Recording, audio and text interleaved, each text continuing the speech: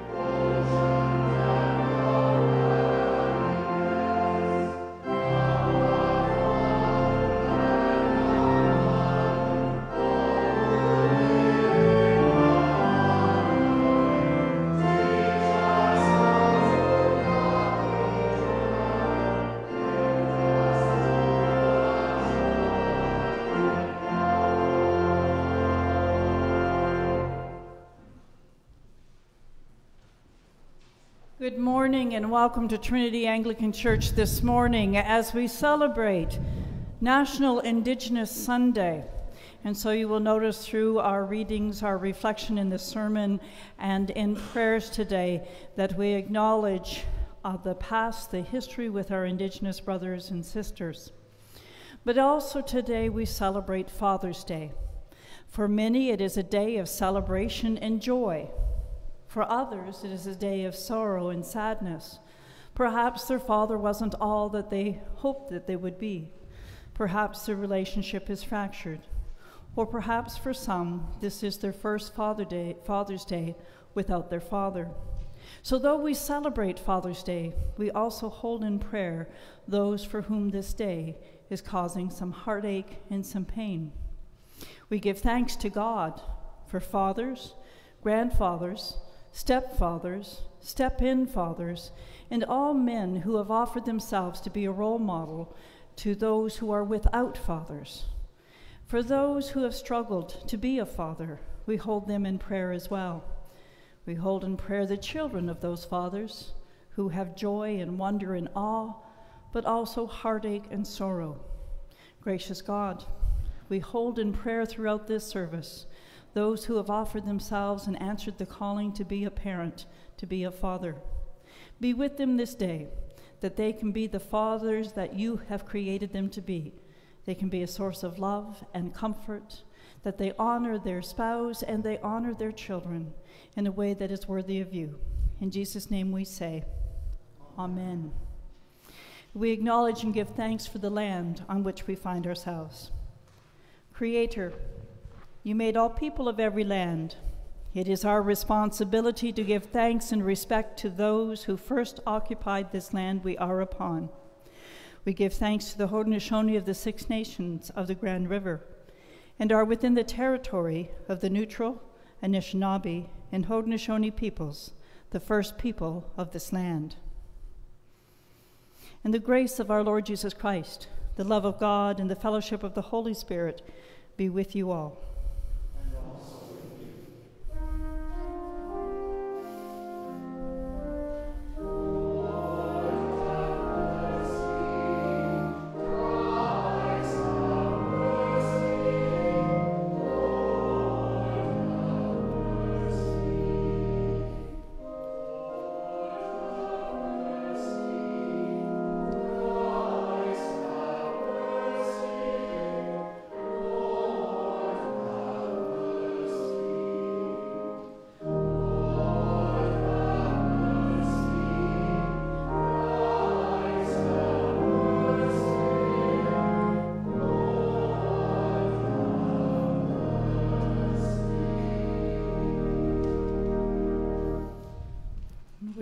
The collect for this National Indigenous Sunday. Creator God, from you every family in heaven and earth takes its name. You have rooted and grounded us in your covenant love and empowered us by your Spirit to speak the truth in love and to walk in your way towards justice and wholeness. Mercifully grant that your people, journeying together in partnership, may be strengthened and guided to help one another to grow into the full stature of Christ, who is our light and our life. Amen. Please be seated to hear God's word.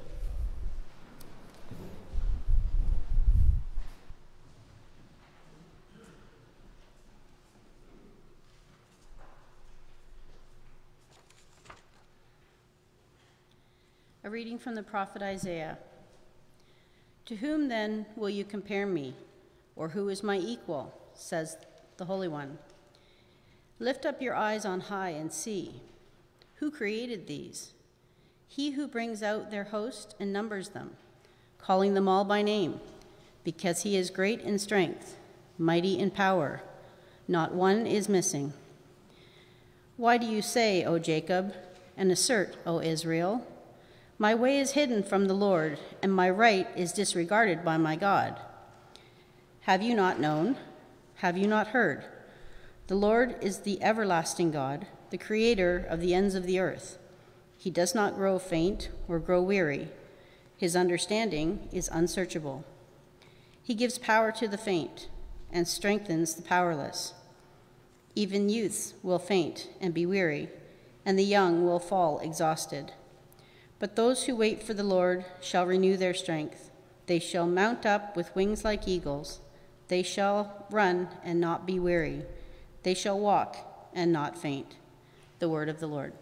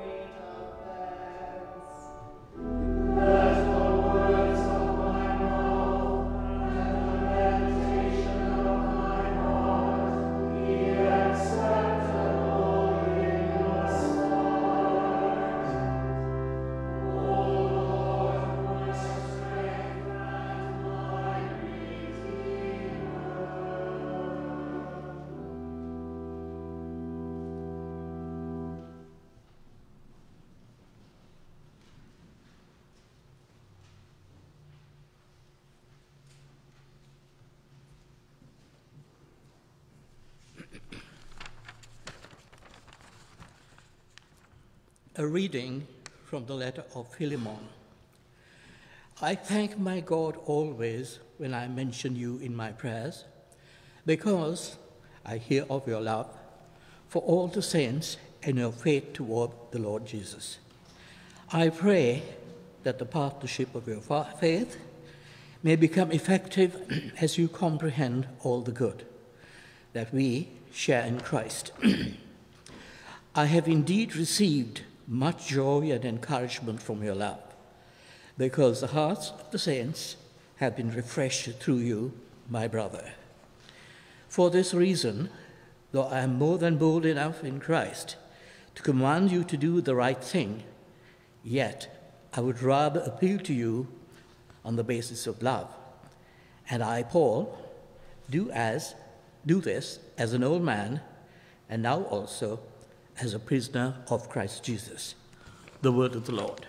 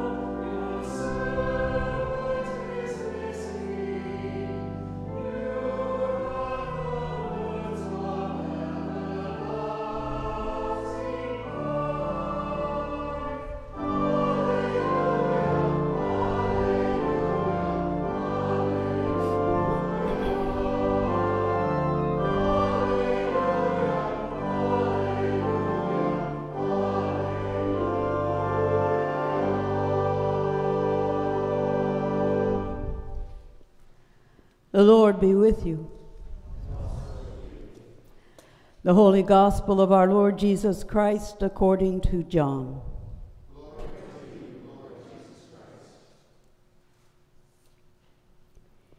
In the beginning was the Word, and the Word was with God, and the Word was God. He was in the beginning with God. All things came into being through him and without him, not one thing came into being.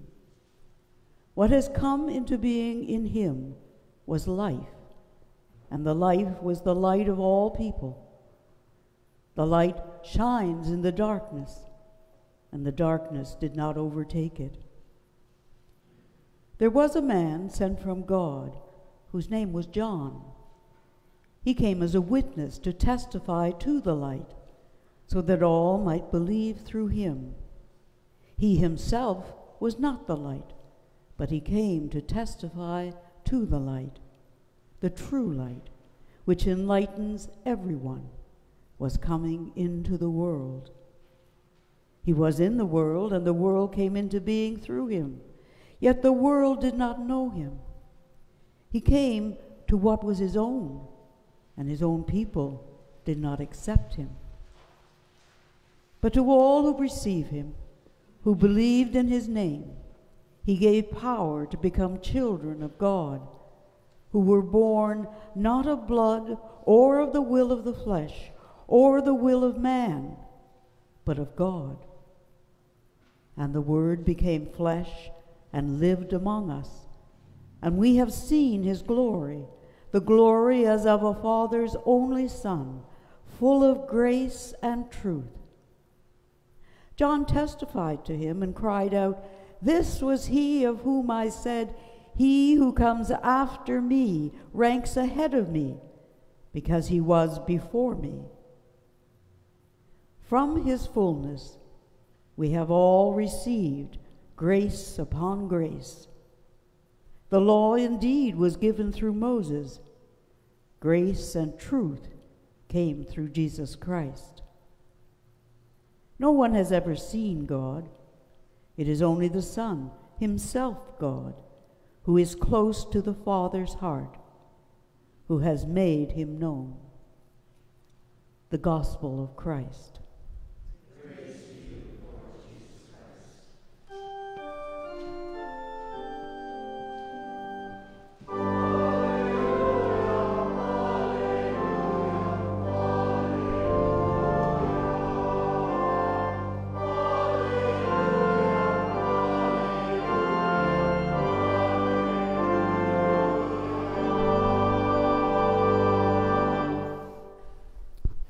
Please pray with me and for me.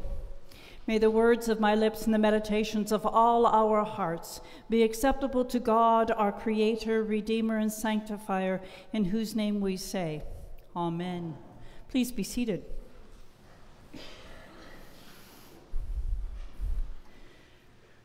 I made a mistake. Have you ever made a mistake? Have you ever made a mistake and wondered what you were to learn from that mistake? Well, in my life as a priest, when I make mistakes, I turn to God and beg God's forgiveness, especially if it was offensive to God. And I assure God I will confess my mistake and take responsibility for it. Oh, the temptation is there. Isn't it there for us that when we goof up, well, we don't have to admit it, do we? If no one, no one knew, why bother saying anything? Just kind of sweep it under the carpet. If we make a mistake and we could maybe foist it onto someone else that they typed it up wrong, except I couldn't do that because I typed it, so the mistake was mine, so I couldn't point to someone else and say, they did it. Instead, instead, the mistake is mine and I take ownership of it. And I ask God as I took ownership of it, what do I make of this? And in my prayer and meditation on the scriptures for today, one of them being the wrong scripture, that is assigned for day, na- today, National Indigenous Sunday. You have in your bulletin, and I left it there because I decided I wasn't going to redo the bulletins. I wasn't going through that process again, but instead I would own my mistake. And I prayed God would help me with it. The mistake is you have in your bulletin Philemon, chapter 4, verses 4 to 9. If some of you read the email I sent out last night and you opened your Bible, you would discover there's no such thing as Philemon chapter 4, verses 4 to 9. That's why I could say, oh, it was a typo. So, what you have actually in the bulletin is from Philemon chapter 1, verses 4 to 9. And as I was conversing with God last night, it's like, but I've been working on this. And to go to the Philippians reading, well, I'm not ready for that. It's a beautiful reading, don't get me wrong. It's about being loving and kind and generous. But I'd been focusing on Philemon because it was an important story in the life of Paul, the life of a slave, and the life of the owner of the slave. See, Paul was in prison. He was imprisoned for doing things that he did, which was to proclaim Jesus Christ. He was a threat to many, and so he's in prison. And there in prison, he meets a slave, a slave who is very, very fearful, fearful of what his owner will do to him, for he had tried to escape his owner. But as he knew Paul, and as they conversed, this man, this slave, came into relationship with God, sought to better understand Jesus Christ, even though he was enslaved, or maybe just because he was enslaved. Paul got to know him and agreed that he would speak to the owner of this man and hoped to change his mind. So that's the letter to Philemon. Philemon is the man who owns the slave. And as we hear in Paul's letter, he says, For this reason, though I am more than bold enough in Christ to command you to do the right thing, yet I would rather appeal to you on the basis of love. Paul could have, as a leader in the church, commanded Philemon to be faithful. He had to release his slave for there was no place to hold a slave in bondage, to take away the dignity of the human being. certainly fell within the teachings of Jesus Christ. But Paul chose not to command Philemon. Rather, just in as in his letter to the Philippians. He talked about love. Because you are to love your neighbor, because you are to love all people, I'm going to speak to you from a place of love, Philemon. And I pray you do the right thing. Set him free. Let him go. Don't punish him. On this day, this day where we acknowledge the experience of the indigenous people of this nation, and we acknowledge our part as the Anglican Church of Canada in the lives of Indigenous children, communities, families, and how we contributed to their suffering, how we enslaved them. It struck me, and I spoke to God about this as I am wont to do, and say, God, did I make this mistake because the Spirit moved me to really think about on this Indigenous Sunday what is it we are commemorating? What is it we are remembering? What is it we are to do? And yes, we have the two commandments that have been given to us, and Jesus confirmed that we are to love God with all our heart, with all our mind, with all our soul, with all our strength. And the second commandment is like it to love our neighbor as ourself. So we are to love our Indigenous brothers and sisters. And as we look back through time, through the history and the experience of our Indigenous brothers and sisters, I find it hard to believe that it was love that motivated people, but rather a desire to hold power, to gain power, to force their ways upon a people who had their own ways, their own culture, their own communities, their own laws. And yes, they said they did it in the name of God to bring people to Christ.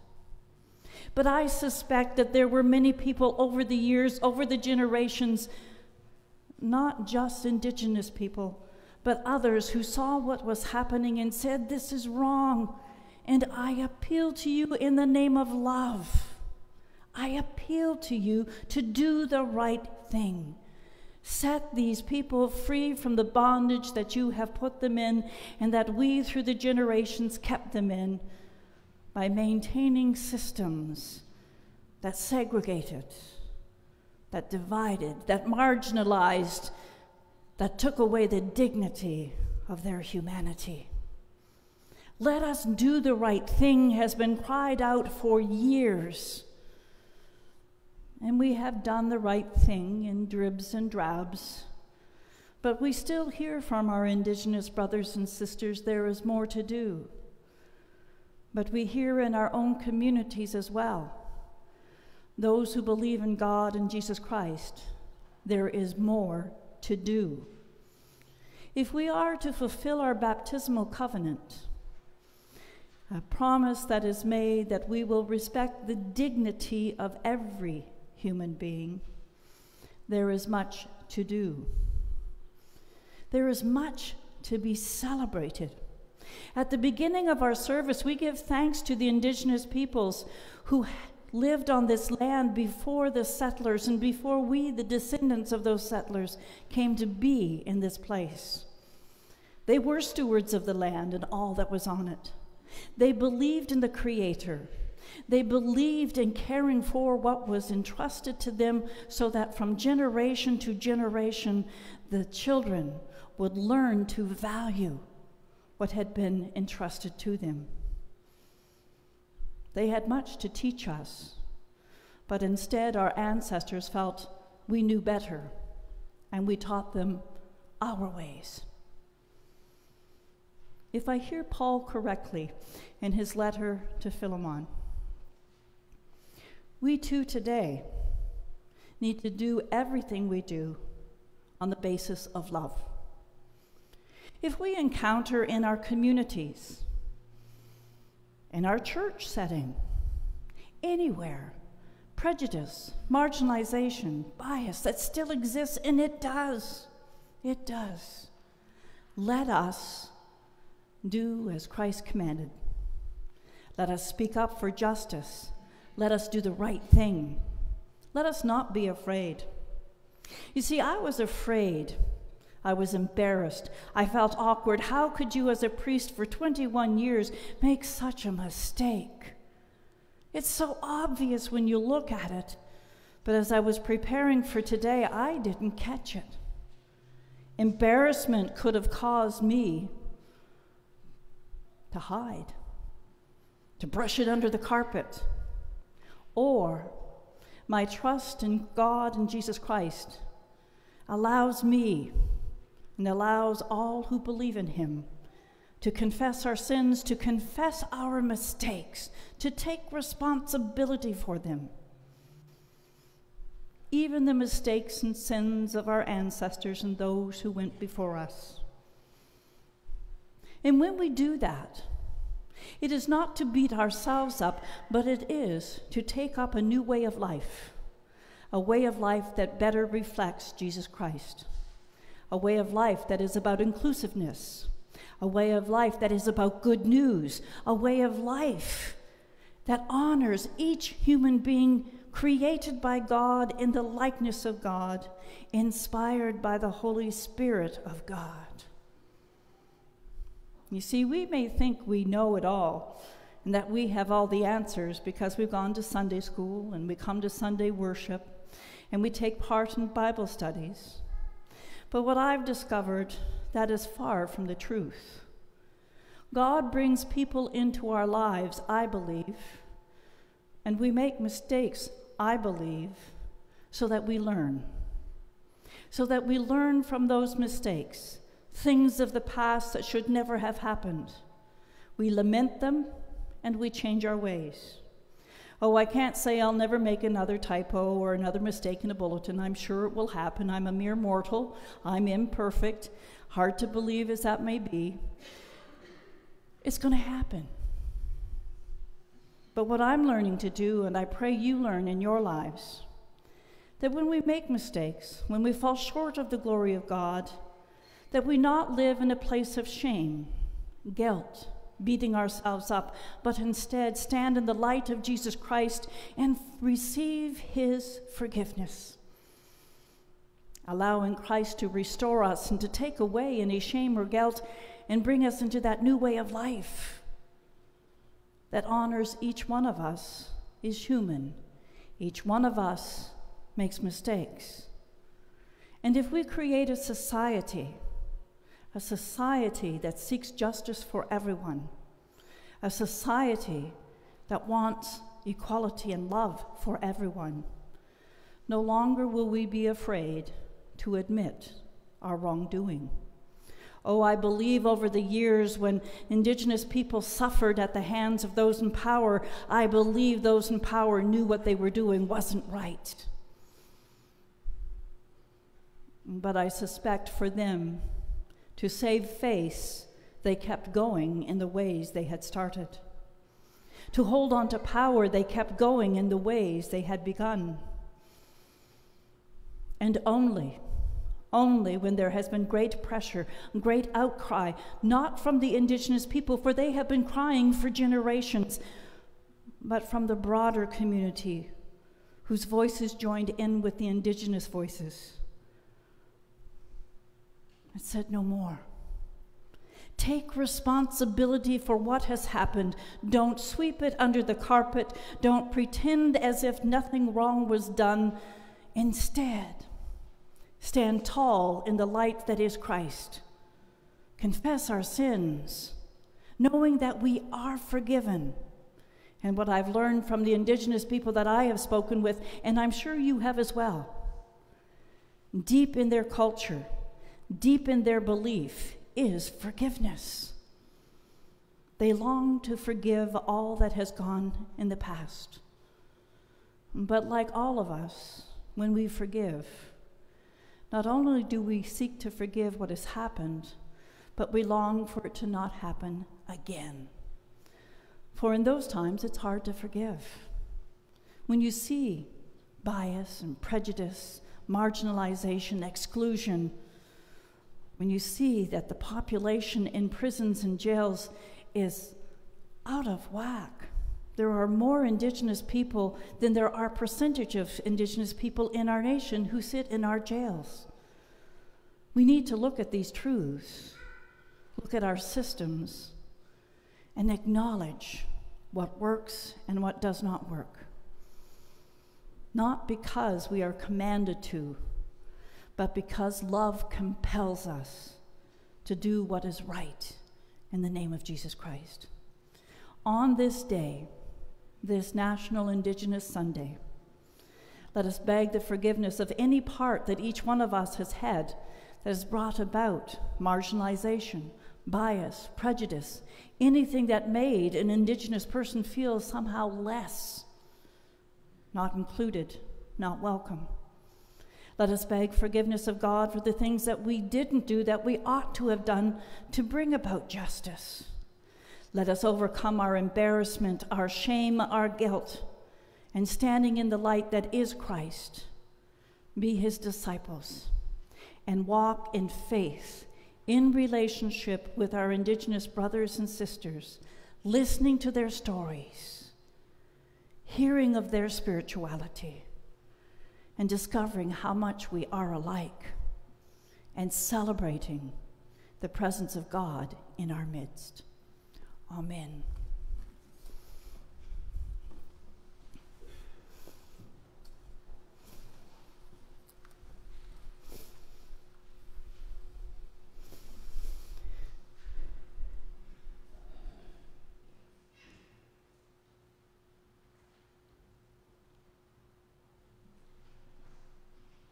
Let us stand together as we affirm our faith.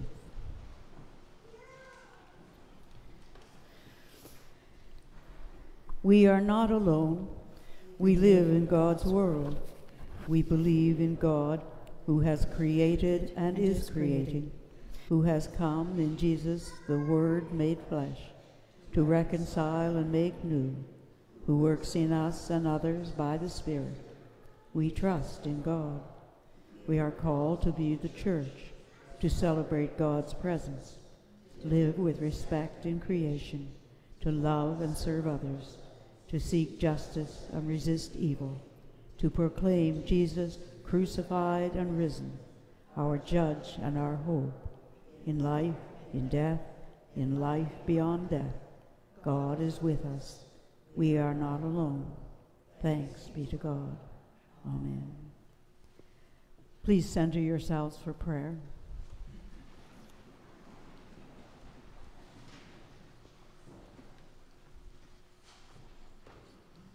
The prayers today, as we commemorate National Indigenous Peoples Day, come from the Church of the Four Winds in Portland, Oregon.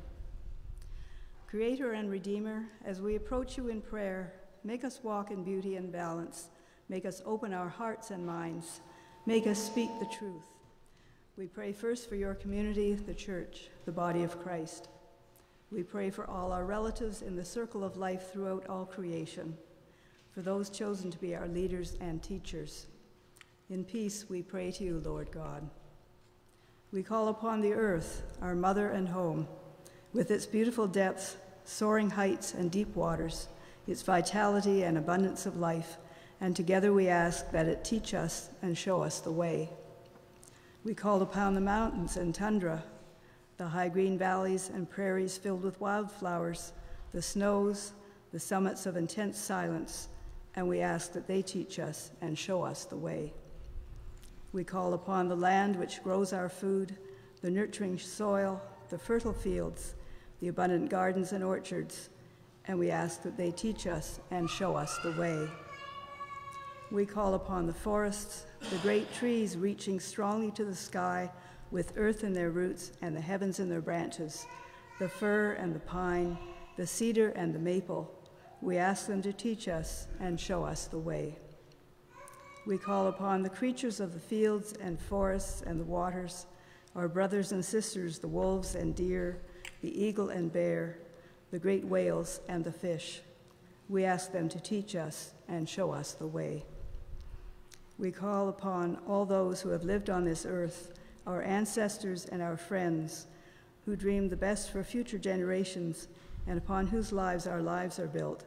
And with thanksgiving, we call upon each, we call upon them to teach us and show us the way. We pray for those in our parish family and beyond who have asked for prayer and for others known to us.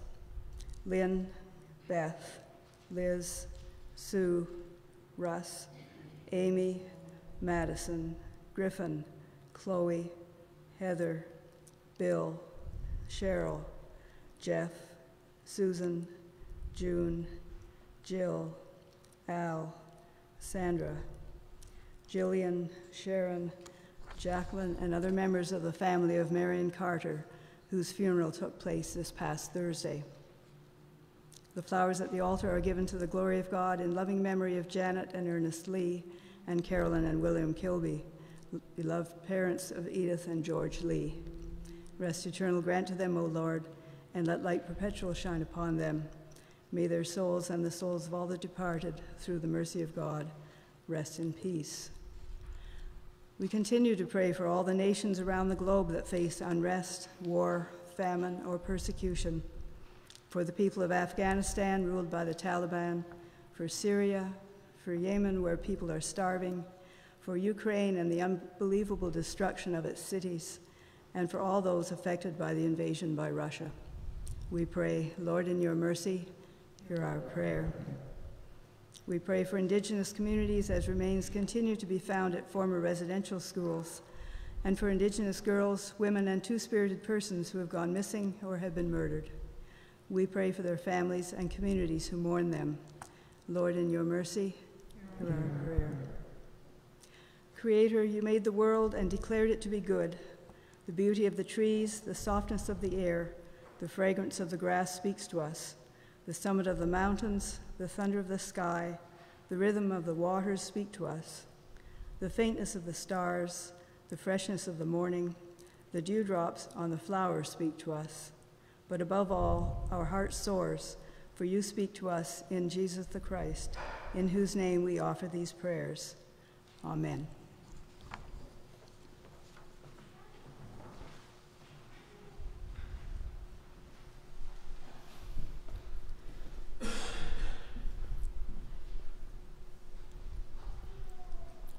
Dear friends in Christ, God is steadfast in love and infinite in mercy.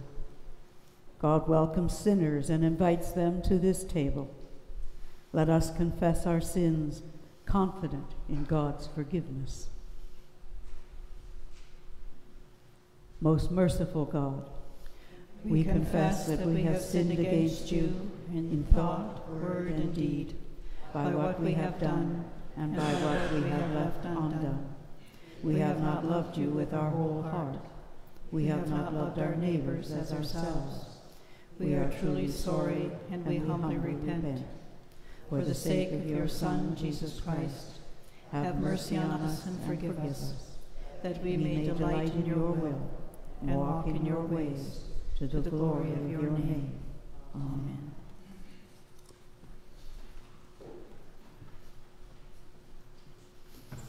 Almighty God, have mercy upon you, pardon and deliver you from all your sins, confirm and strengthen you in all goodness, and keep you in eternal life through Jesus Christ our Lord. Amen.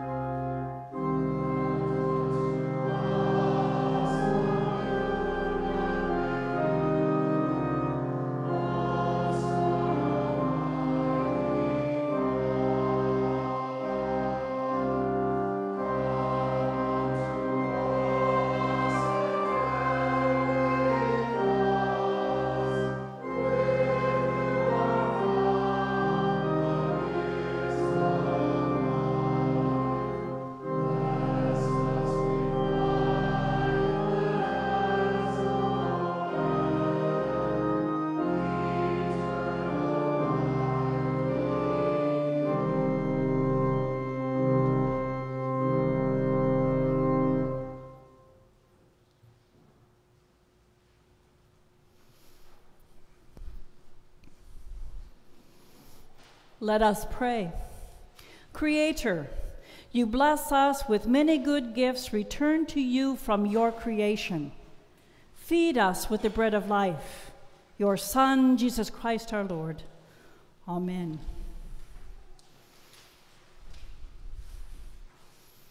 The Lord be with you. Lift up your hearts. We give you thanks and praise, Almighty God, through your beloved Son, Jesus Christ, our Savior and Redeemer. He is your living Word, through whom you have created all things. By the power of the Holy Spirit, he took flesh of the Virgin Mary and shared our human nature. He lived and he died as one of us to reconcile us to you, the God and Father of all. In fulfillment of your will, he stretched out his hands in suffering to bring release to those who place their hope in you, and so he won for you a holy people. He chose to bear our griefs and our sorrows, and to give up his life on the cross, that he might shatter the chains of evil and death, and banish the darkness of sin and despair. By his resurrection, he brings us into the light of your presence. Now, with all creation, we raise our voices to proclaim the glory of your name.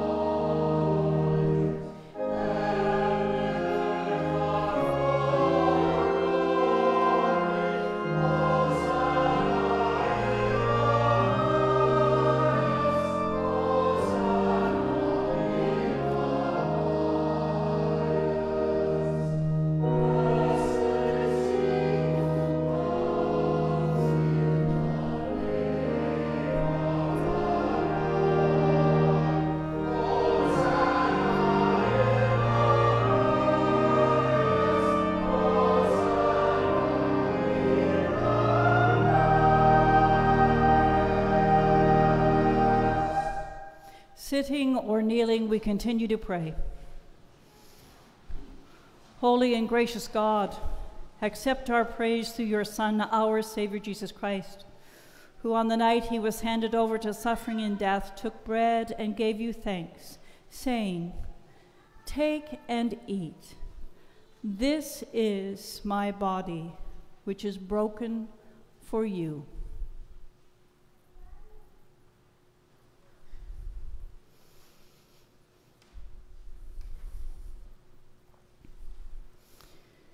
In the same way, he took the cup, saying, This is my blood which is shed for you. When you do this, you do it in memory of me.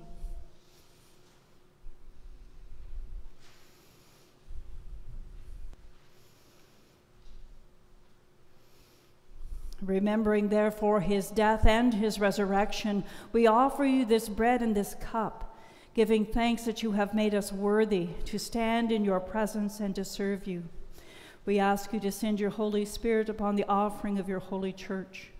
Gather into one all who share in these sacred mysteries, filling them with the Holy Spirit and confirming their faith in the truth, that together we may praise you and give you glory through your servant, Jesus Christ.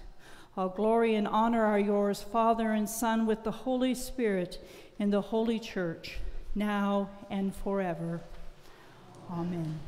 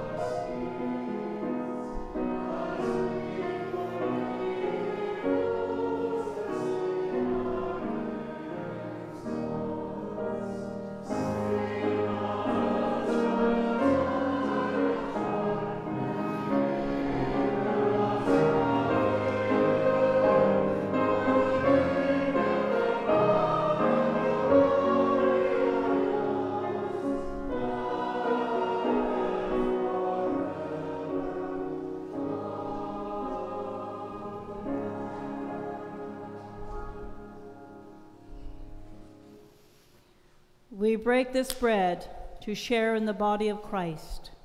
We, being many, are one body, for we all share in the one bread.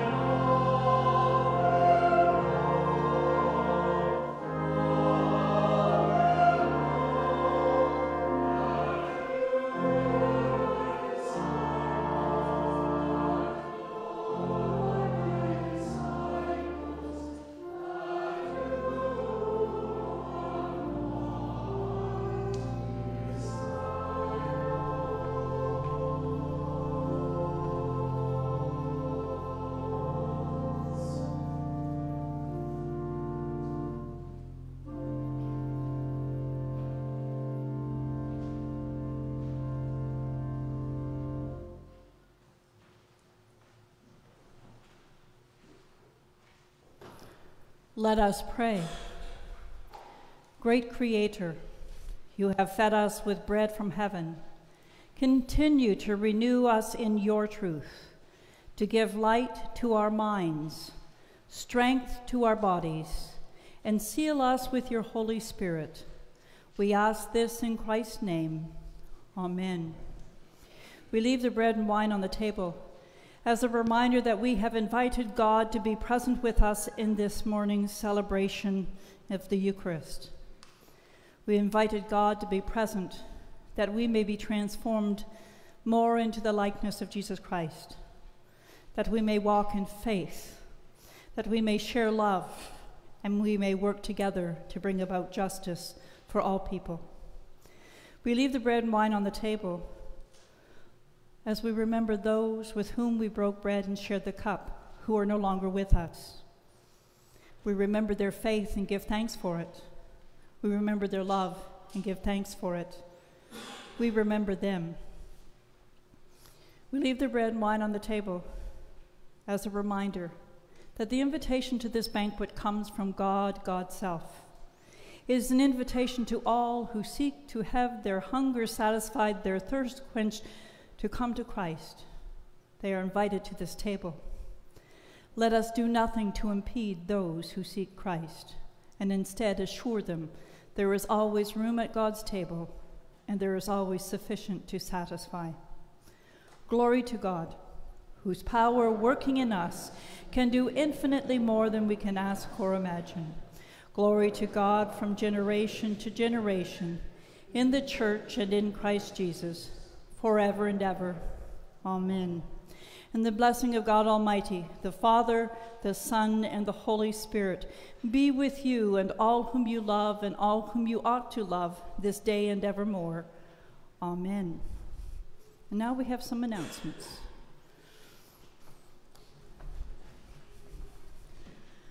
Okay, I'm going to let you read most of these that are in the bulletin. Uh, a couple of things. If you get your link, the newsletter by, by um, mail normally or in print. They're at the back in the boxes there, alphabetical order. Please take it with you this morning. If you see one that belongs to a neighbor of yours, uh, please also take it with you so that we don't have to mail them because they cost $1.94 each to mail nowadays. Um, having said that, we're updating the email list in the office, so if you e find your email address has changed, please let Barb in the office know. That way we can send out things like uh, the bulletin and the link to you or other announcements we need, to get you quickly. Uh, let me see what else. ACW is making a limited number of turkey pies again this coming Thursday, so they will be available um, on first come, well, not first come, serve, first served basis. Please let Marilyn Crump know. Her email is in the, or her phone number is in the um, bulletin this morning. Sorry? Yeah, I, I started to correct myself there. Yeah, sorry, yes. Please pre-order them, and actually it might be a good idea to do it this morning because I know they're going quickly, and there's only a few left.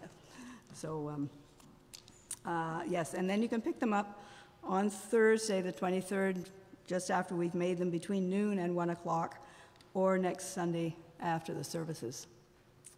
And at the rate I'm going, I think I'll let you read the rest because I'm stumbling around. Did you want to say something about Father's Day this morning? Well, yes, actually, um, again, happy Father's Day to all the dads. And we are glad that you are with us, and we extend those wishes beyond our doors for all fathers today. Happy Father's Day. Now, after the service, on your way in, we invite you into the parish hall, or is it outside?